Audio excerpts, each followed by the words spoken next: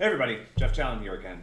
In this video, I'm going to give you a brief introduction to our quiz system. So this is a system that you'll use both through the main website to test your knowledge and prepare for your official assessments, and then also it's the same system you use inside the computer-based testing facility where you'll actually take your official graded CS124 quizzes. All right, so uh, let's check it out.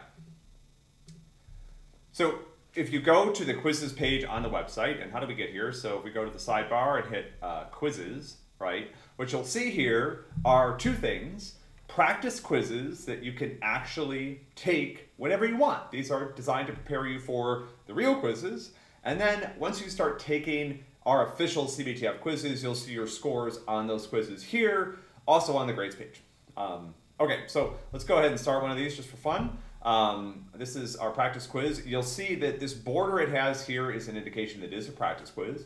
You are welcome to get support on the practice quizzes. So there's no, uh, these are designed to help test your understanding. My suggestion is that you try to use them as authentic practice. So, you know, do your work on the daily lessons, solve all the homework problems, go through the practice problems, maybe a few of the solution walkthroughs.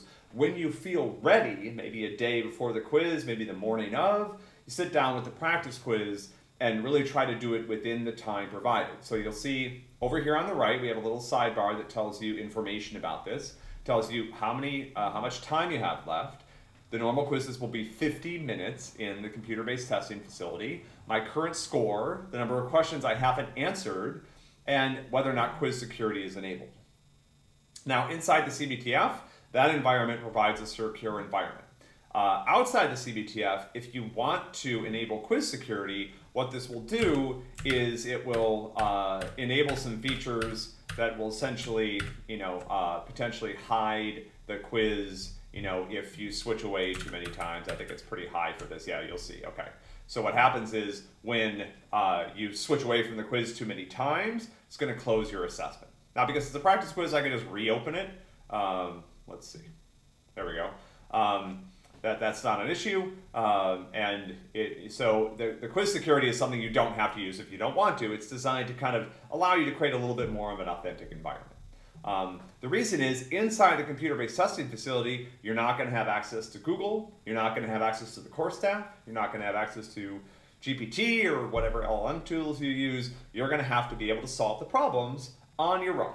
Um, okay, Here's uh, a general introduction to kind of things we ask on quizzes. We are going to ask you to program on quizzes, so there will be programming challenges. These work identically to the homework problems that you'll be solving on the daily lessons, and they're very similar to the homework problems. So if you're able to do the homework problems, you're going to be very well prepared for the quiz. We also have multiple choice questions uh, that are based on the lesson content. So again, if you go through the lesson materials, watch the walkthroughs, review the videos, read the text, interact with the examples, you will be well prepared for these. These are just silly ones, right? Uh, they're just here for, for fun. Now, over here on the right, this tells you a little bit about this question. This is the number uh, of attempts you have. So there's two attempts for this question. If I get it right on the first attempt, I'm going to get 20 points. If I get it right on the second attempt, I'm going to get 10 points. If I miss both, like, so let's go ahead and miss both, right? So now you'll see I missed the first attempt uh, and I missed the second attempt. Now the question is disabled right? So I, there's no points that I can get on this, and you'll see the points left for me to earn on the assessment has dropped to 80 uh, because this was a 20 point question. Here's another question. This is, you know, true, false, only one submission. Okay, I missed that one too. Now here, what this indicates over here on the right is that 20 points for the first attempt, 10 points for the second attempt, and then an unlimited number of attempts at five points per. Um, so let's go ahead and, and show you how that works. That's not right. That's not right. That's not right. But even though I've missed it, I still could get points on this question if I finally submit the correct answer, right? Um, now, on these assessments, when I get the correct answer, it'll show me the correct answer. On ones that I missed, it won't, right? And the goal with the practice assessments is really to make sure that you do develop an understanding of the material. And if you are missing questions on these, you're not prepared for the quiz in the CBTF. So go back and review the lesson material. Okay, um, if you are running out of time and you know the time limit here is again designed to give you practice with working on particularly the programming questions under time pressure which is something that you're going to experience inside the testing center. Um, if you want to extend that though you can hit this button and i'll give you a little bit more time right? So that extended it by 10 minutes. Um, if uh, the quiz does close, you should be able to reopen it from the quizzes page and you can go on from there, right? So sometimes students are like in the middle of working on a programming question and they're about to run out of time. So at that point, either extend it, give yourself a little bit more time, or if it does close on you, you could reopen it. That said, keep in mind that inside the CBTF, you have 50 minutes. So working, being able to write the code, being able to fix mistakes, uh, we will have debugging challenges on the quizzes as well. These are things that you're going to be able to do within that environment. We think, you know, well, we review every quiz every semester. We think that the time that we're providing is sufficient for the quiz content.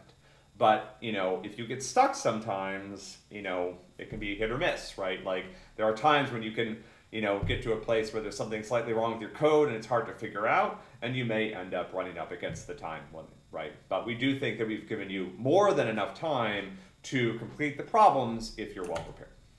Okay, so, so that's just a quick demo of how to use this system. Again, this is essentially what you'll find inside the CBTF. It's the same interface, the same um, you know, auto grader. Uh, we want you to feel, the reason why we provide the practice quizzes is we want you to feel really comfortable inside the CBTF. You may be uncomfortable because you're challenged by the questions or you're understanding the material, that's okay, but we don't want you to be uncomfortable because of the format. We want that something to be something that's familiar to you. Uh, and again, if you uh, need help with this interface or if you need help with the contents of a practice quiz, feel free to come to the tutoring site and we will be happy to assist you. Okay?